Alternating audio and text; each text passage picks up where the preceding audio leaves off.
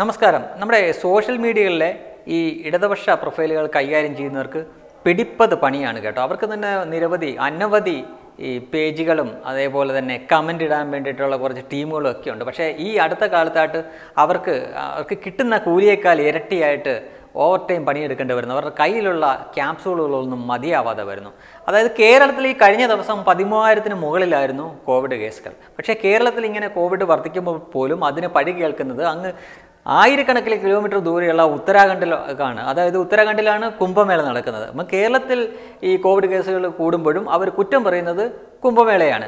ഇതുവരെ ഈ വർഷം ഇതുവരെ നടത്തപ്പെട്ടിട്ടില്ല. നടത്തണോ വേണ്ടേ എന്നുള്ള ചർച്ചകൾ നടന്നുകൊണ്ടിരിക്കുകയാണ് നമ്മുടെ തൃശ്ശൂർ പൂരം. പക്ഷേ അതിനും പഴി കേൾക്കുന്ന തൃശ്ശൂർ പൂരത്തിനാണ്. പക്ഷേ ഏതാനും ആഴ്ചകൾക്ക് മുമ്പേ ഈ എല്ലാ രാഷ്ട്രീയക്കാരും കൂടെ പ്രചരണം എന്ന വോട്ട് തണ്ടാൻ വേണ്ടിയിട്ടുള്ള പ്രചരണം എന്ന നിലയിൽ നടത്തിയ അനേകം പൊതുസമ്മേളനങ്ങൾ അല്ലെങ്കിൽ റാലികൾ ഇതിനൊന്നും അവർ കുറ്റപ്പെടുത്തുന്നില്ല രാഷ്ട്രീയക്കാർ പൊതുവെ അങ്ങനെയാണല്ലോ. പക്ഷേ അവരെല്ലാം കുറ്റപ്പെടുത്തിക്കൊണ്ടിരുന്നത് ക്കുന്നത് ഇപ്പോൾ ആ കുംഭമേളയെ പറ്റി ഇനി നടക്കു നടക്കുമോ നടക്കത്തില്ലേ എന്ന് ഉറപ്പില്ലാത്ത തൃശ്ശൂർ പൂരത്തിനെയൊക്കെയാണ്. അതിനൊപ്പം തന്നെ കോവിഡ് ഉണ്ടായിട്ട് നാലാം തീയതിയോളം നാലാം തീയതിയാണ് കോവിഡ് അതിന്റെ ലക്ഷണങ്ങൾ കാണിച്ചു എന്ന് പറയുകയും അതിനുശേഷം രണ്ട് ദിവസവും കൂടെ പൊതു പൊതുവിടങ്ങളിലും പൊതു പൊതുജനങ്ങളുടെ ഇടയിലുമൊക്കെ പോയി സംസാരിക്കുകയും പ്രവർത്തിക്കുകയും ഒക്കെ ചെയ്തിട്ടുള്ളത് ഒരു മുഖ്യമന്ത്രി നമ്മുടെ മുന്നിലുണ്ട്. അദ്ദേഹം ഇത് മറച്ചു വെച്ചതാണെന്ന് അറിഞ്ഞുകൂടാ. അദ്ദേഹത്തിന് ന്യായീകരിക്കാൻ നടക്കണം. അദ്ദേഹം ഹോസ്പിറ്റലിൽ പോയി അഡ്മിറ്റ് ആവുന്നു. അതിനുശേഷം അദ്ദേഹത്തിന്റെ ആവശ്യപ്രകാരം നേരത്തെ തന്നെ ടെസ്റ്റ് ചെയ്ത് അദ്ദേഹത്തിന് നെഗറ്റീവാന്ന് പറയുന്നു. ഈ നെഗറ്റീവായ ആൾ പോസിറ്റീവായ അദ്ദേഹത്തിന്റെ തന്നെ സ്വന്തം ഭാര്യയായിട്ട് കാറിൽ കയറി ഒരേ കാറിൽ കയറി അത് തിരിച്ചു പോകുന്നു. അതിനെ ന്യായീകരിക്കണം. ഈ ഒരേ സമയം തന്നെ രണ്ട് മൂന്ന് കാര്യങ്ങളാണ് ഇവർക്ക് ചെയ്യേണ്ടത്. ഒരേ സമയം തന്നെ ആയിരക്കണക്കിന് കിലോമീറ്റർ ദൂരെ നടക്കുന്ന കുംഭമേളയെ കേരളത്തിൽ കോവിഡ് കേസുകൾ കൂടിയതിന്റെ പേരിൽ വിമർശിക്കണം കുറ്റപ്പെടുത്തണം.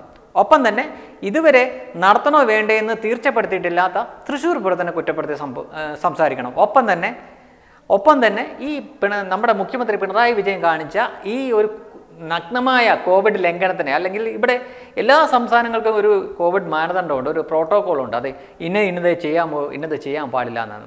ഈ നായ ആറു മണിക്ക് മുൻ കാലങ്ങളിൽ സ്ഥിരമായിട്ട് ആറു മണിക്ക് വന്നിരുന്നുണ്ട് വയലും വീടും ഒക്കെ പരിപാടി നടത്തുകയും ഉറുമ്പിന് വരെ ഭക്ഷണം കൊടുക്കുന്ന കാര്യമൊക്കെ പറയുകയും ഈ കരുതലിന്റെ ഒരു ഏറ്റവും വലിയ ഒരു മാതൃകയൊക്കെ ആയിട്ട് ജനങ്ങളുടെ മുന്നിൽ അവതരിപ്പിക്കുകയൊക്കെ ചെയ്ത് നന്മയുള്ള ലോകമേ എന്നൊക്കെ പറഞ്ഞ് പാട്ടൊക്കെ ഉണ്ടാക്കി ഇറക്കിയ അതേ മനുഷ്യൻ തന്നെയാണ് ഈ നഗ്നമായ കോവിഡ് ലംഘനം കാണിച്ചിരിക്കുന്നത്. അതിനെ ന്യായീകരിക്കണം.